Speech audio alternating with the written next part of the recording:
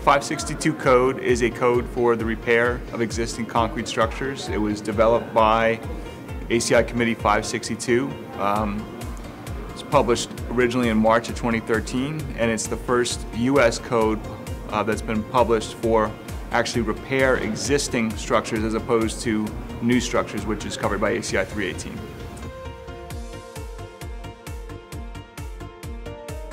Really anybody can use it. If you're working on a repair project, that's what it's um, geared for.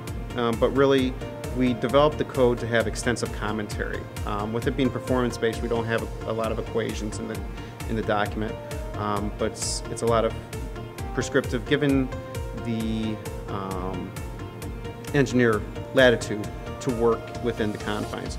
With repairs, you're, you're not working with a blank slate as typically is um, occurs when you're doing a new construction. You're working with new construction, you're starting with nothing and then you're building what you need to build.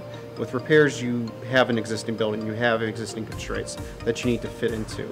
Um, and that's why we went with the performance-based and to give that latitude for the engineer to use his judgment to work within those confines of what he has.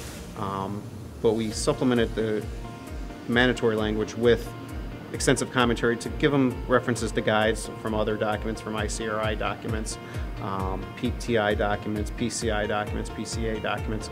Um, but anybody with any level of experience can use it as a good reference. They can go to it and find a reference that they may not have known about, and they can apply it to their project.